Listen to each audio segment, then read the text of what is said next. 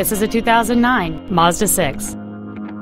The most desirable features on board this Mazda include power windows, air conditioning, a CD player, driver and passenger front airbags, an anti-lock braking system, and this vehicle has fewer than 10,000 miles on the odometer.